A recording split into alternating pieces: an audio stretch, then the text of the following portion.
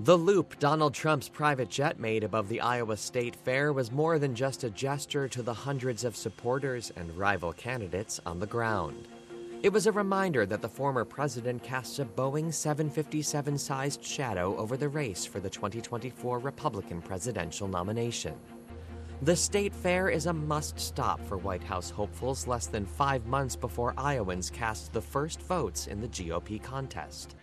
And in August, candidates made the rounds at the fairgrounds.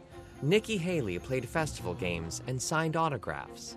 Senator Tim Scott grilled for the crowd.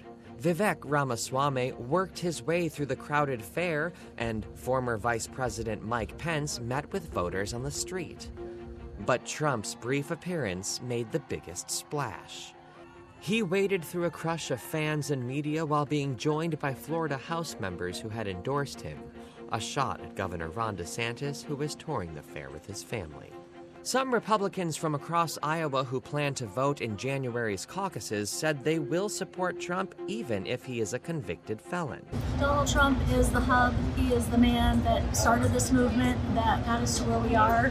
I appreciate all the other gentlemen and lady in the race. However, to me, I look at them like spokes in the wheel, and I want everybody to coalesce together and support Donald Trump.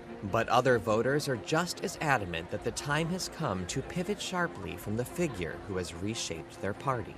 I do think that um, what's being happening to him is politicized. I do think that. So I, I don't find him to be um, guilty of all the things he's been found guilty of. But with that being said, I don't think he's the right man to lead our country going forward. Trump is the heavy favorite in early caucus polls, but already complicated assessments of him may shift during months of televised debates, advertising and campaigning, and multiple court proceedings in the series of criminal indictments he faces. I think there's enough controversy, and with all the charges they got against him, I don't think he can get elected. I'm hoping they elect another Republican. Uh, maybe we'll get something else changed. Hopefully, if we get another Republican elected, they won't fight him like they have Trump. Many Iowa Republicans say until the chill of winter sets in, they're keeping an open mind about the decision they'll make. For the Associated Press in Washington, I'm Mike Pesoli.